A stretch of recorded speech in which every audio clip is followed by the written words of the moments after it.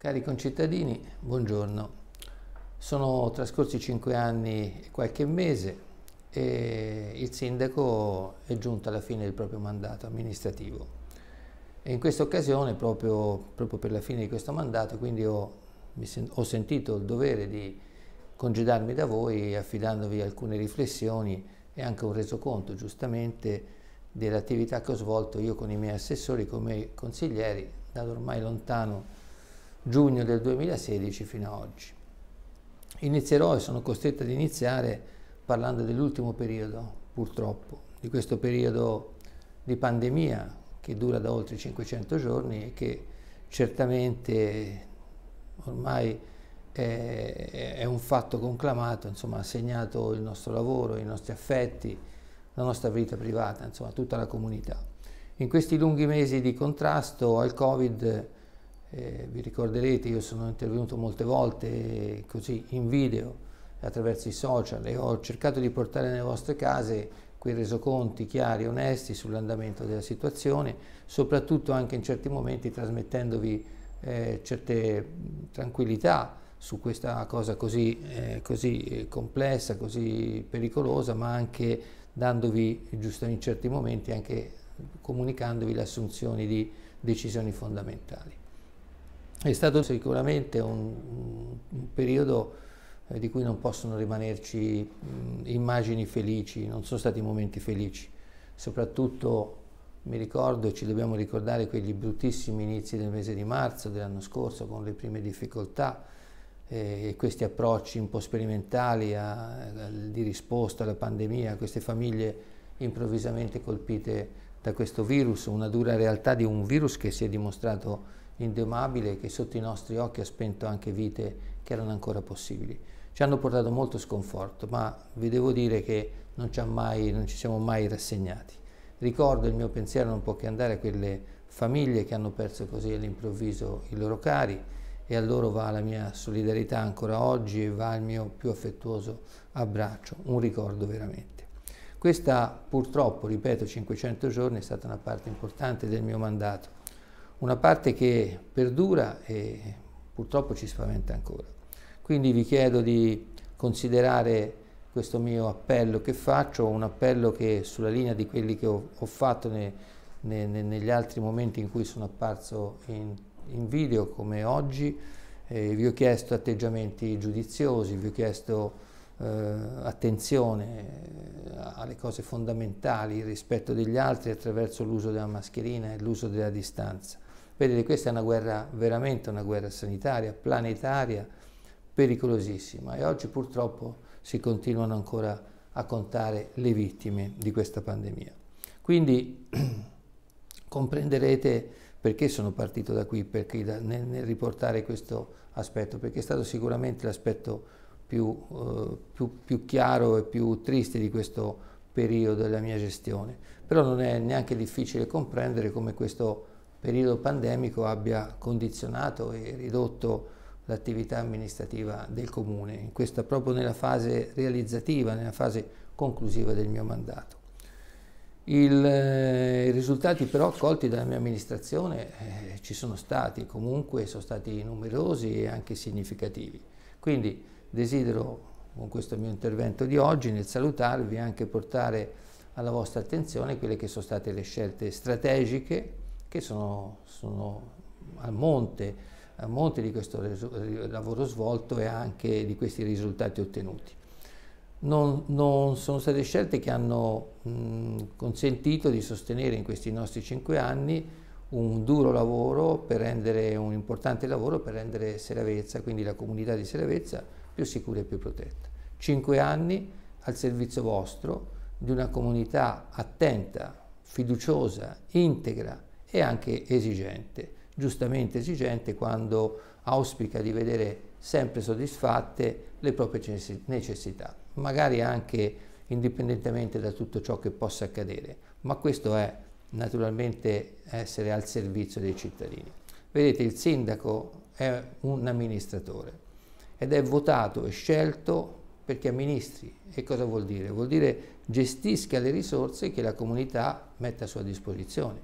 Poche o tante che siano queste risorse devono essere sono frutte, sono legate alle potenzialità economico e patrimoniali delle famiglie, delle aziende, cioè queste sono le risorse che entrano all'interno delle casse comunali. Bene, quindi amministrare vuol dire gestire queste risorse, se io dovessi essere giudicato, e qui ve lo dico con, con, con, grande, con grande semplicità, dovessi essere giudicato io e la mia amministrazione per la gestione di questo tesoro che i cittadini contribuenti mi hanno affidato, e considerare oggi quale tipo di bilancio e quali numeri di questo bilancio e di queste risorse io oggi presento dopo cinque anni e un pezzettino, come ho detto, di questo bilancio, nel quale ha influito tantissimo questa grave crisi, grave crisi finanziaria causata dalla pandemia, ma nonostante ciò ha a disposizione risorse disponibili, avanzi di gestione spendibili, finanziamenti pronti per, per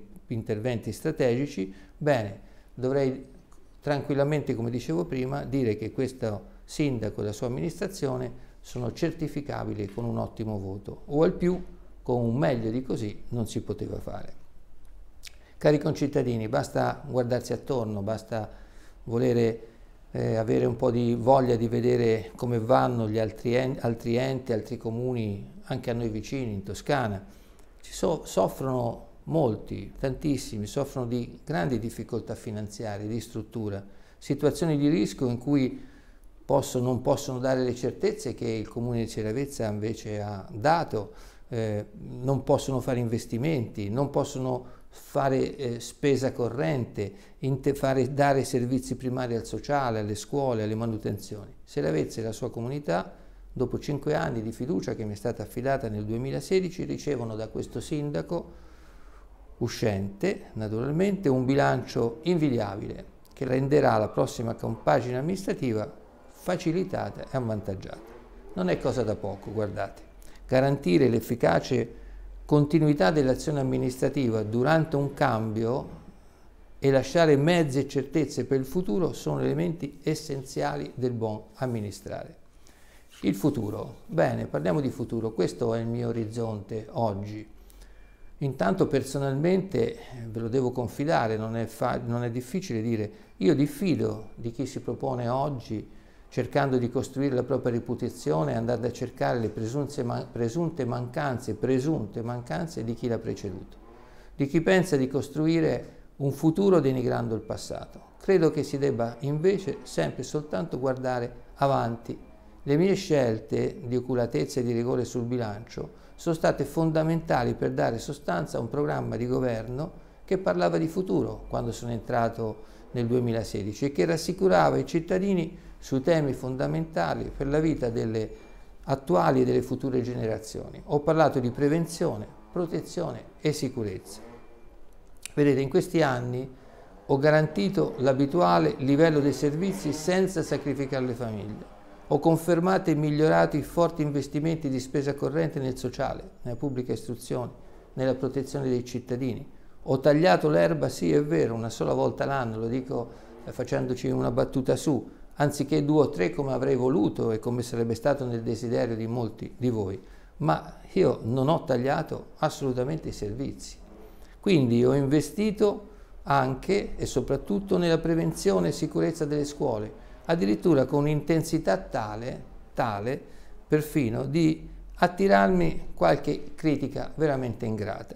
È stata a mio avviso invece la migliore forma di protezione che abbia potuto offrire alla comunità seravezzina, a vantaggio della quale mi piace sottolineare ho avviato opere per milioni di euro, tutte già finanziate, alcune in fase di progetto, altre già appaltate in corso, appena concluse, Qualche esempio, scuole, palestre, cimiteri, arredo urbano, manutenzione straordinaria e il palazzo comunale. Vi invito pertanto quindi a leggere il resoconto dei miei cinque anni di mandato e lo troverete nelle pagine che troverete pubblicate. Troverete introduzioni specifiche settore per settore in maniera che così vi renderete conto di quello che è stato da fare. Ma parliamo anche di quello che resta da fare. Eh, mi viene facile una battuta, la dico, la dico, bene, queste cose da fare e che sono in corso, eh, io penso che il prossimo sindaco per almeno altri due anni dovrà tagliare i nastri, i nastri che sono frutto di questa attività, di questo mio mandato. È una battuta, la dico così sorridendo, ma questa è esattamente la situazione che ci andremo a trovare. Le cose ormai riguardano quindi il prossimo mandato amministrativo, l'importante però è che i cittadini, ecco questo è importante, mantengano un occhio vigile su queste opere impostate e che assolutamente devono essere immaginate, essere portate a conclusione, così come il cavalcavia con tutta la viabilità che ne consegue, come le scuole, le palestre e soprattutto le piazze e il centro di Querceta. Assicuratevi cittadini che questi finanziamenti già disponibili e sono già destinati a queste opere vadano, non vadano persi o non vadano distolti, consegnati alla gestione della cosa pubblica a persone capaci e giudiziose, che abbiano la piena consapevolezza del compito al quale sono attese e che sappiano di dover operare con assoluto e cristallino spirito di servizio. Questo è il mio sogno, la mia certezza per il futuro della meravigliosa comunità di Seravezza. Prima però del resoconto dei dati che vi leggerete, però sono doverosi i ringraziamenti. Siamo arrivati in fondo, come dicevo, al mio mandato e quindi mi fa veramente piacere dover fare questi ringraziamenti che sono dovuti. Innanzitutto, chiaramente, ai colleghi con i quali ho lavorato, assessori e consiglieri della mia maggioranza, per l'apporto dato a questo ottimo risultato di gestione, ognuno ovviamente con le proprie competenze e facoltà. Un risultato che ci ripaga di questi durissimi cinque anni nei quali abbiamo lavorato dando volentieri ascolto e consigli, evitando di dare troppo peso però alle critiche pretestuose e infondate, e ce ne sono state, dovendo a volte anche ingoiare amarezze e quant'altro riempie tutte le ore del giorno dei corridoi e le stanze del nostro municipio, che tra l'altro tra pochi mesi tornerà rinnovato modernamente, all'avanguardia e classificato addirittura NZ, cioè ad elevata efficienza energetica e emissioni quasi zero.